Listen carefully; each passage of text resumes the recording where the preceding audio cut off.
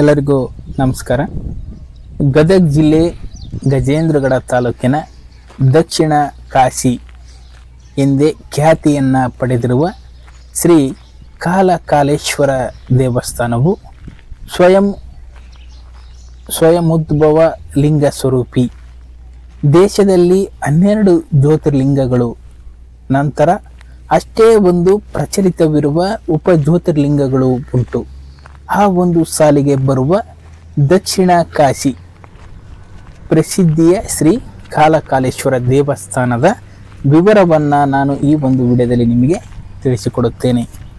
ಇನ್ನು ಯಾರಾದರೂ YouTube channel ಹೊಸಬ್ ನೋಡ್ತಾ ಇದ್ರೆ ಪ್ಲೀಸ್ ಸಬ್ಸ್ಕ್ರೈಬ್ ಮಾಡಿ, ಎಲ್ಲರಿಗೂ ಈ ವಿಡಿಯೋ ಶೇರ್ ಮಾಡಿ, ಹಾಗೆ ಒಂದು ಲೈಕ್ ಕೊಡೋದನ್ನ ಮರಿಬೇಡಿ. ಗಜೇಂದ್ರಗಢದಿಂದ ನಾಲ್ಕು ಪಾಯಿಂಟ್ ಐದು ಕಿಲೋಮೀಟರ್ ದೂರದಲ್ಲಿರುವ ಈ ಒಂದು ಕಾಲಕಾಲೇಶ್ವರ ದೇವಸ್ಥಾನವು ಉತ್ತರ ದಿಕ್ಕಿನ ಬೆಟ್ಟದ ಇಕ್ಕಲದಲ್ಲಿರುವ ಶ್ರೀ ಕಾಲಕಾಲೇಶ್ವರ ದೇವಸ್ಥಾನ.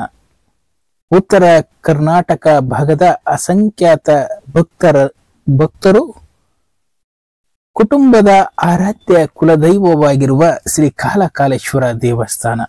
ಜಲೇಂದ್ರಿಯ ಗಿರಿ ಪರ್ವತದ ಮಧ್ಯಭಾಗದಲ್ಲಿರುವ ಕಾಲಕಾಲೇಶ್ವರ ದೇವಸ್ಥಾನವು ನಿಸರ್ಗದ ಚೆಲುವನ್ನ ತನ್ನೊಳಗೆ ಅಡಗಿಸಿಕೊಂಡಿದೆ.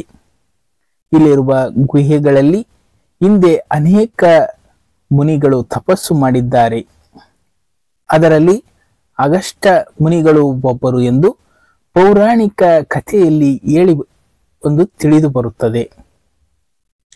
ಈ ಒಂದು ದೇವಸ್ಥಾನದಲ್ಲಿ ನಿತ್ಯ ತ್ರಿಕಾಲ ಪೂಜೆ ನಡೆಯುತ್ತದೆ. ಬೆಳಗ್ಗೆ ಮತ್ತು ಸಂಜೆ ಜಂಗಮರಿಂದ ಹಾಗೂ ಮಧ್ಯಾಹ್ನ ಬ್ರಾಹ್ಮಣರಿಂದ ಪೂಜೆ ನಡೆಯುತ್ತದೆ. ಪೌರಾಣಿಕ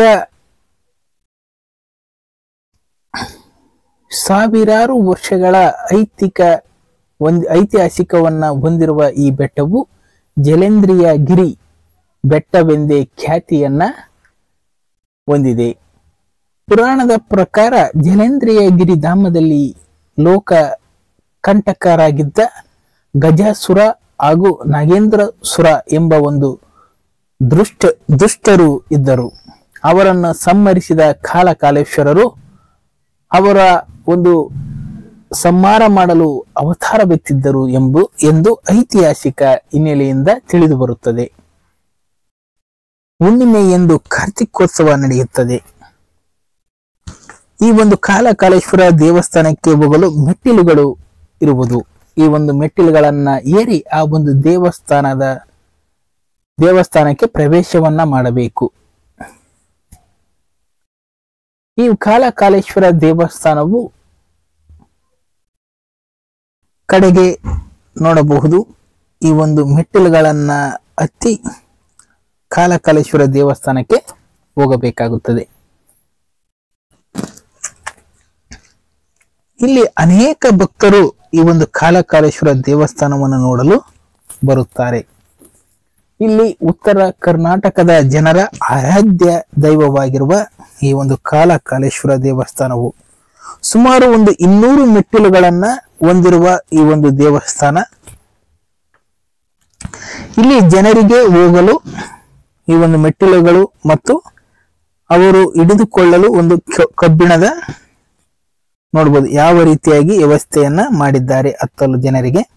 ಮತ್ತು ಅಲ್ಲಲ್ಲಿ ಕುಳಿತುಕೊಳ್ಳುವ, ಕುಳಿತುಕೊಳ್ಳಲು ಈ ಒಂದು ನೆಳ್ಳಿನ ವ್ಯವಸ್ಥೆ ಮಾಡಿರತಕ್ಕಂಥದ್ದು. ನೋಡಬಹುದು ಈ ಒಂದು ದೇವಸ್ಥಾನ.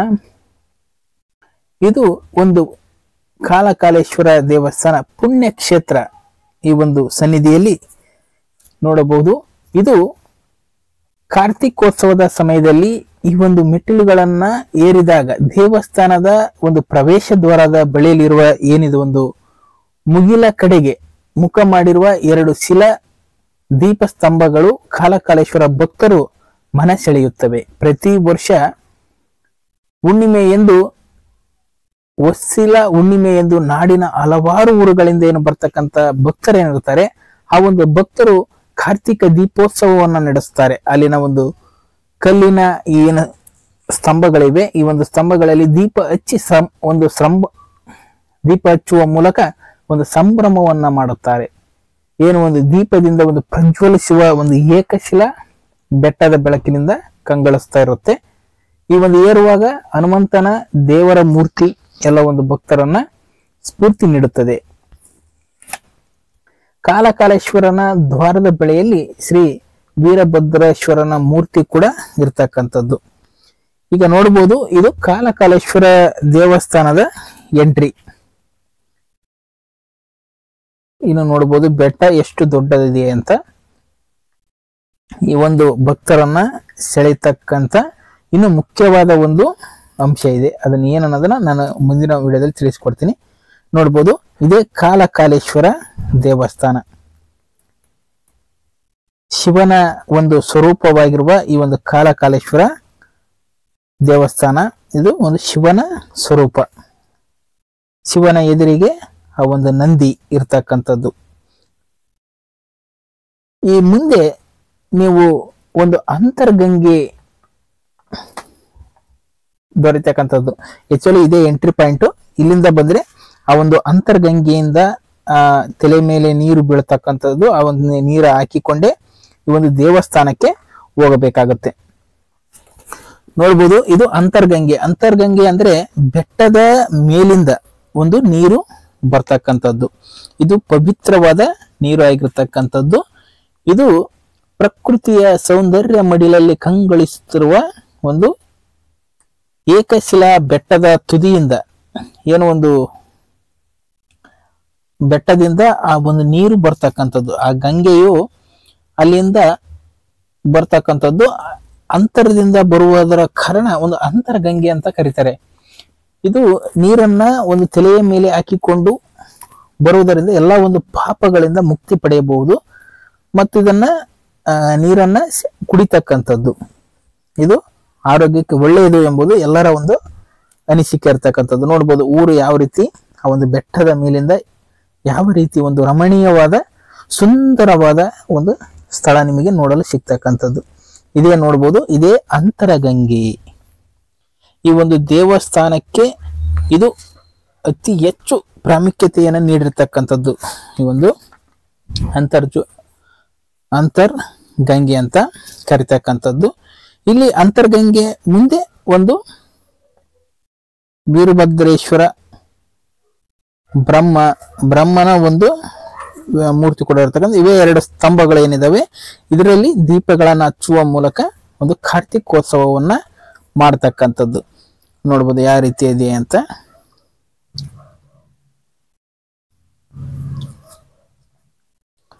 ಇದೆ ನೋಡ್ಬೋದು ಬ್ರಹ್ಮನ ಒಂದು ಮೂರ್ತಿ ಇರ್ತಕ್ಕಂಥದ್ದು. ಆ ಒಂದು ಬ್ರಹ್ಮನ ಮೂರ್ತಿಯ ಒಂದು ಪಕ್ಕದಲ್ಲೇ ಒಂದು ಗುಹೆ ಇರ್ತಕ್ಕಂಥದ್ದು. ಅಂದ್ರೆ ಗುಹೆ ಇದೆ. ಅದು ಏನನ್ನೋದನ್ನು ತೋರಿಸ್ತೀನಿ ಬನ್ನಿ. ಇದು ಬಂದ್ಬಿಟ್ಟು ಒಂದು ಬ್ರಹ್ಮ ಮತ್ತು ಮೂರ್ತಿ ಇರ್ತಕ್ಕಂಥದ್ದು. ಇದು ನೋಡ್ಬೋದು ಗುಹೆ, ಅಂದರೆ ಆಗಿನ ಕಾಲದಲ್ಲಿ ತಪಸ್ಸು ಮಾಡ್ತಕ್ಕಂಥದ್ದು ಈ ರೀತಿ ಇರ್ತಕ್ಕಂಥದ್ದು.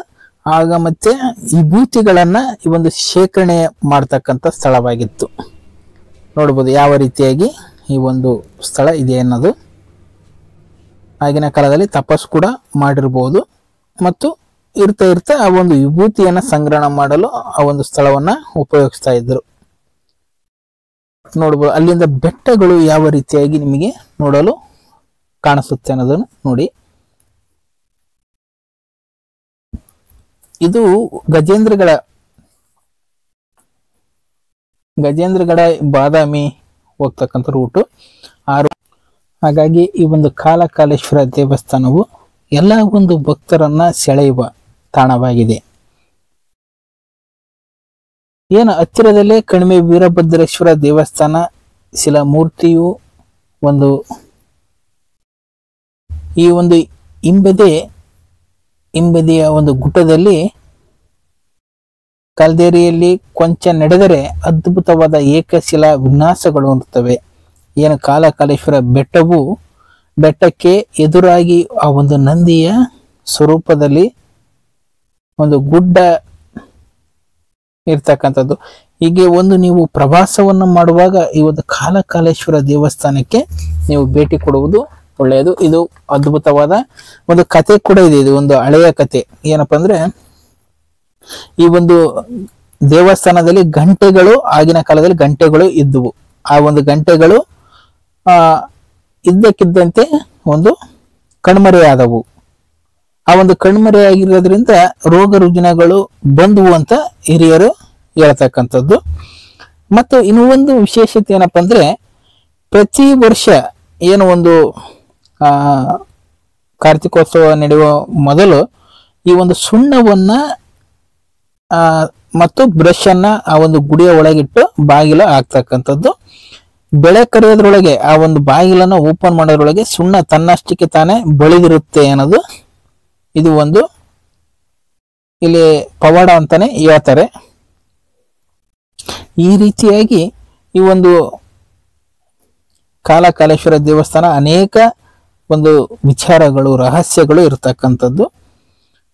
ಇಲ್ಲಿ, ಆ, ಒಂದು ಬಹಳಷ್ಟು ಉತ್ತರ ಕರ್ನಾಟಕ ಜನರ ಆರಾಧ್ಯ ದೈವವಾಗಿರತಕ್ಕಂಥ ದಕ್ಷಿಣ ಕಾಶಿಯ ಕಾಲಕಾಲೇಶ್ವರ ದೇವಸ್ಥಾನವು ನೋಡಲು ಅದ್ಭುತವಾದ, ಸುಂದರವಾದ ಸ್ಥಳವಾಗಿದೆ. ನೀವು ಏನಾದರೂ ಈ ಒಂದು ಗಜೇಂದ್ರಗಡ ನಿಯರ್ ಇದ್ದರೆ ಮತ್ತು ಬಾದಾಮಿ ಗದಗ ಈ ರೀತಿ ಇದ್ದರೆ ನೀವು ಒಂದ್ಸರಿ ವಿಸಿಟ್ ಕೊಡೋದು ಕೊಟ್ಟರೆ ಭಾಳಷ್ಟು ನಿಮಗೆ ನೋಡಲು ಸುಂದರವಾಗಿ ಕಾಣತಕ್ಕಂಥದ್ದು, ನಿಮಗೆ ಭಾಳ ಇಷ್ಟ ಕೂಡ ಆಗ್ತಕ್ಕಂಥದ್ದು. ನೋಡಿ ಒಂದು ಸರಿ ಭೇಟಿ ಕೊಟ್ಟು ಈ ಒಂದು ದೇವಸ್ಥಾನವನ್ನು ನೋಡಲೇಬೇಕು. ಈಗ ಏನಾದರೂ ಈ ಒಂದು ದೇವಸ್ಥಾನದ ಬಗ್ಗೆ ನಿಮಗೆ ಏನಾದರೂ ಇನ್ನು ಹೆಚ್ಚಿನ ಮಾಹಿತಿ ಬೇಕಾದರೆ ಒಂದು ಕಮೆಂಟ್ ಬಾಕ್ಸ್ನಲ್ಲಿ ಕಮೆಂಟ್ ಮಾಡಿ. ಆದಷ್ಟು ನನಗೆ ತಿಳಿದಿರ್ತಕ್ಕಂಥ ವಿಚಾರಗಳನ್ನು ನಾನು ಕಮೆಂಟ್ ಬಾಕ್ಸ್ನಲ್ಲಿ ಬೇಕಾದ್ರೆ ನಿಮಗೆ ರಿಪ್ಲೈ ಕೊಡ್ತೀನಿ. ನೋಡ್ಬೋದು ಎಲ್ಲ ಅಲ್ಲಿ ಕುಂದ್ರಕ್ಕೆ ಎಲ್ಲದಕ್ಕೂ ಒಂದು ವ್ಯವಸ್ಥೆ ಮಾಡಿರ್ತಕ್ಕಂಥ ನೋಡ್ರಿ ಯಾವ ರೀತಿಯಾಗಿ ಒಂದು ಪ್ರಕೃತಿಯ ಸೌಂದರ್ಯ ಯಾವ ರೀತಿಯಾಗಿ ನಿಮಗೆ ಇಲ್ಲಿ ನೋಡಲು ಸಿಗ್ತಕ್ಕಂಥದ್ದು. ಇದು ಒಂದು ವಿಶೇಷವಾಗಿ ಶಿವರಾತ್ರಿ ದಿನ ನೋಡಲು ಬಹಳಷ್ಟು ಆ, ಸುಂದರವಾದ ಪ್ಲೇಸ್ ಆಗಿರ್ತಕ್ಕಂಥದ್ದು. ಮತ್ತೆ ಬೆಳಗ್ಗೆ ಏಳರಿಂದ ಸಂಜೆ ಏಳರವರೆಗೆ ಈ ಒಂದು ದೇವಸ್ಥಾನಕ್ಕೆ ಭೇಟಿ ನೀಡಲು ಅವಕಾಶ ಇರತಕ್ಕಂಥದ್ದು. ಯಾಕಂದ್ರೆ ನೈಟ್ ಎಲ್ಲ ಪ್ರಾಣಿಗಳು ಓಡಾಡ್ತಕ್ಕಂಥ ಸಂಭವ ಇರಬಹುದು ಯಾಕಂದ್ರೆ ಇಲ್ಲಿ ಆಲ್ರೆಡಿ ಬಹಳಷ್ಟು ಪ್ರಾಣಿಗಳ ಸೌಂಡ್ ಇರ್ತಕ್ಕಂಥದ್ದು. ಹಾಗೆ.